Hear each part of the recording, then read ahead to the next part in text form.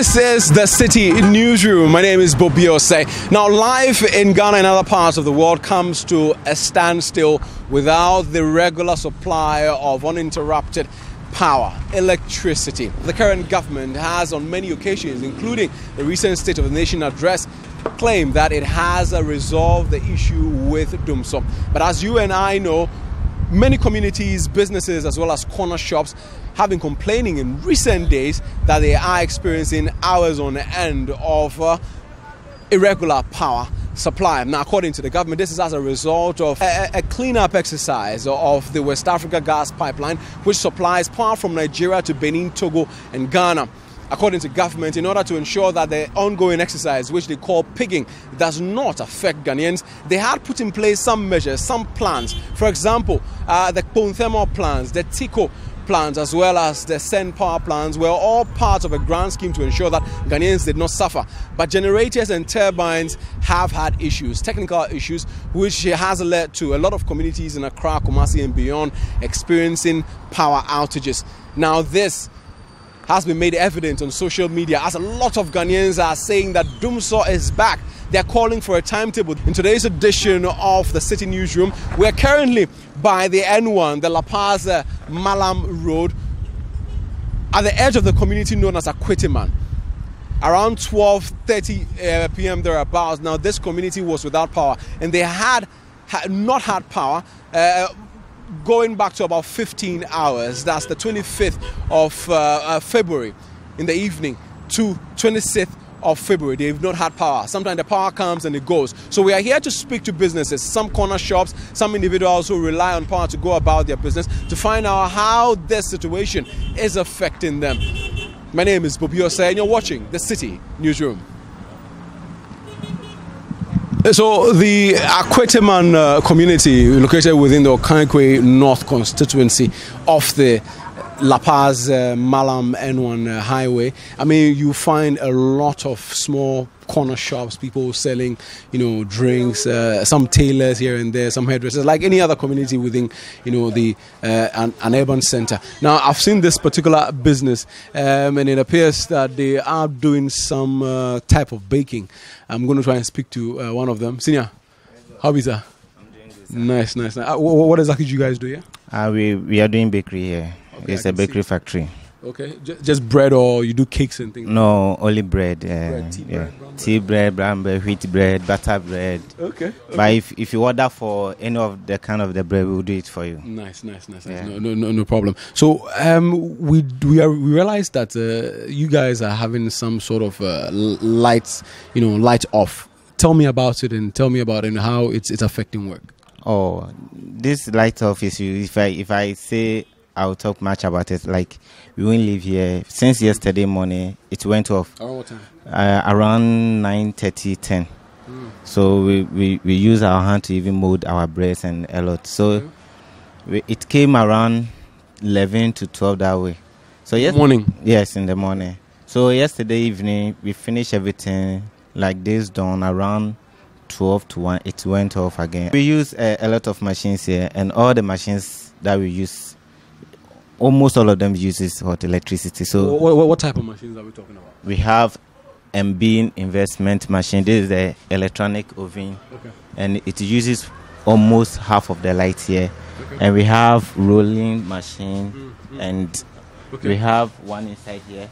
That one to is what uh, molder and uh, what do you call it divider they are also inside. So almost all the machines here uses electricity. Wow. So you are, you are, heavily dependent on electricity. Yes, we we, we heavily depend on that mm. because it has been helping us a lot. We came here around 3 a.m.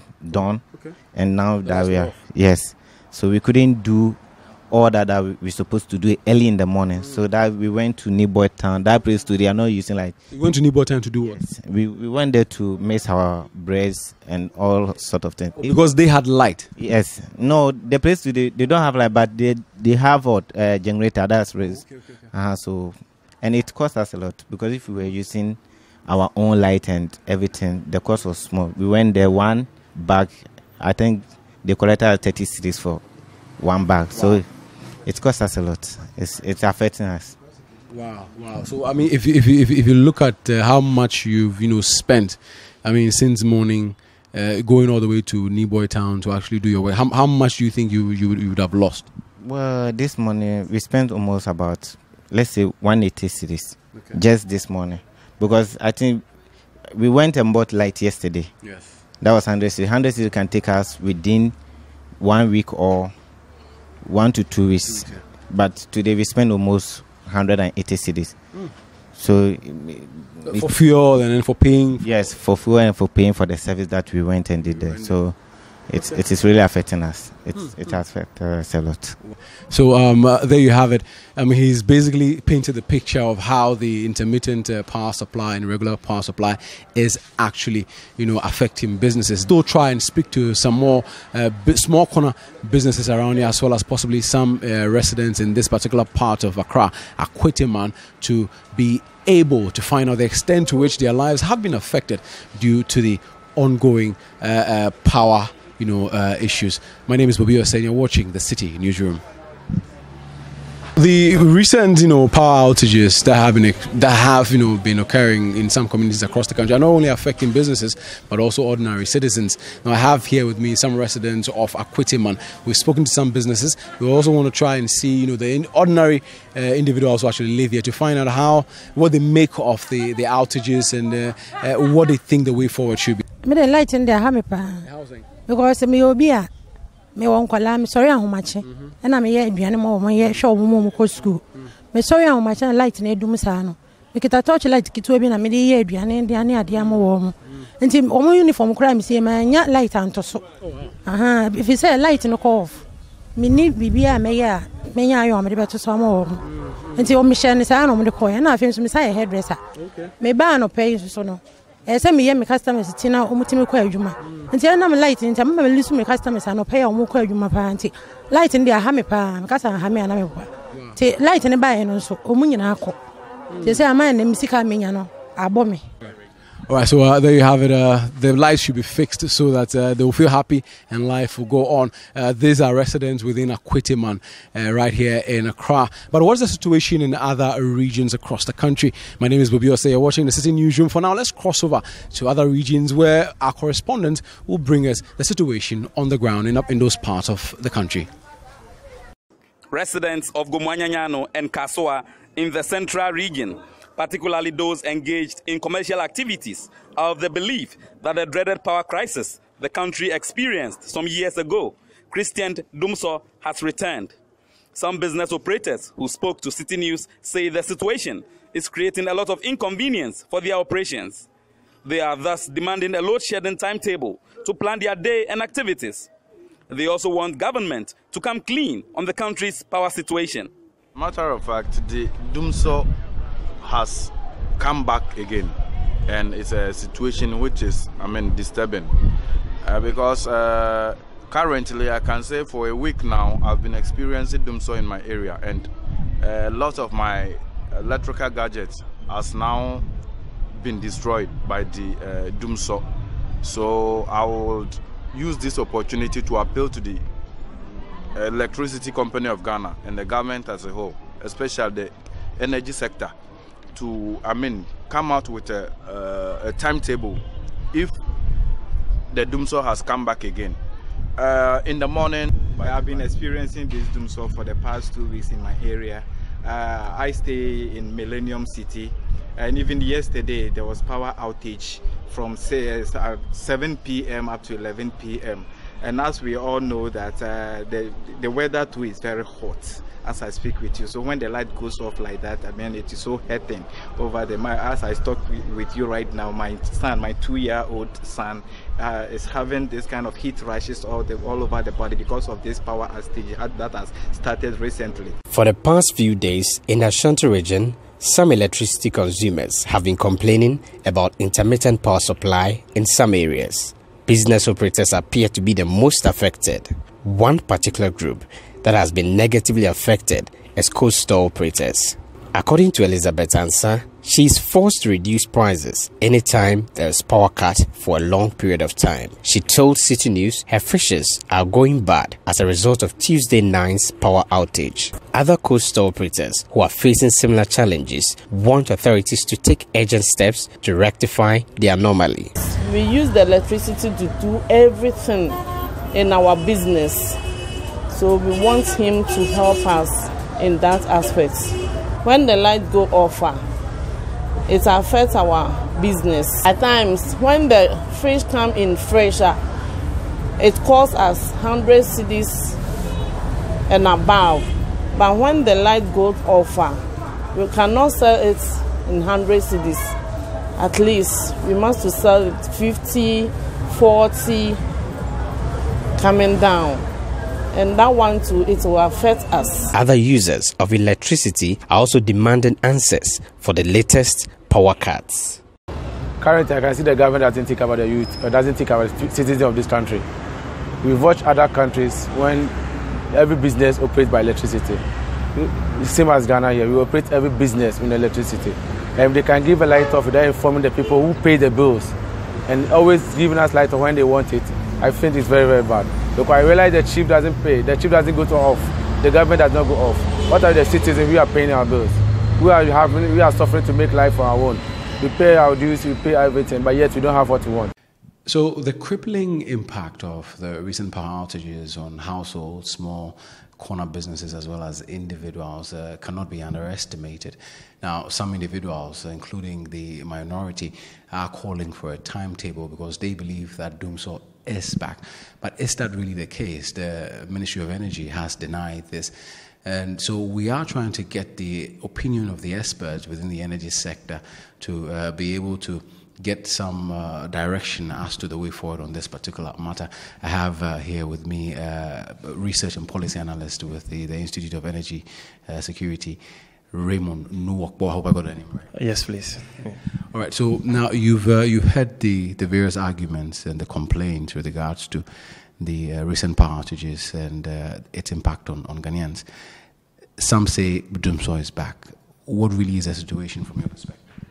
One reason that can be attributed to this issue is um, poor, poor planning, and another one have to do with liquidity. What they say liquidity, though there is um, limited supply of gas to the thermal enclave, most of our thermal plants are dual fuel. When I say dual fuel, meaning apart from gas, they can use light crude, exactly, or diesel. So therefore, if there is no gas for them, or they, they are cleaning the pipelines, they are doing the uh, integrity check, etc., then they must be able to supply them with diesel or the like crude like you are saying.